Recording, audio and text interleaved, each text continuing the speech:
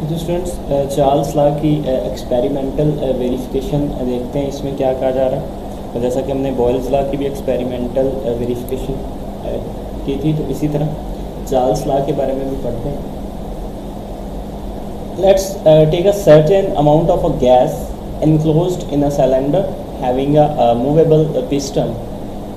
If the initial volume of the gas V1 is 50 cubic centimeter and initial temperature T1 is 25 Celsius. On heating the cylinder up to 100 Celsius, its uh, new volume V2 is about 62.5 centimeter cubic. The increase in temperature increase the volume that uh, can be observed as elaborated uh, elaborated below in the figure. Students, एक cylinder में जिसका जो piston uh, है वो movable हो यानी कि वो हरकत कर सकता हो उसमें गैस की कुछ मकदार लेते हैं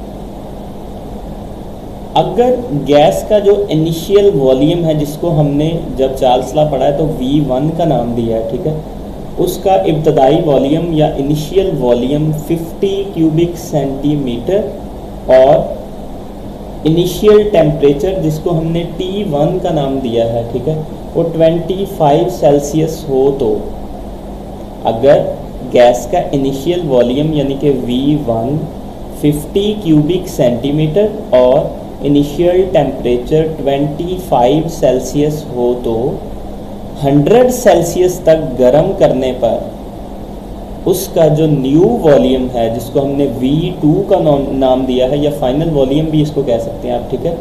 तो वो 62.5 क्यूबिक सेंटीमीटर होगा, ठीक है?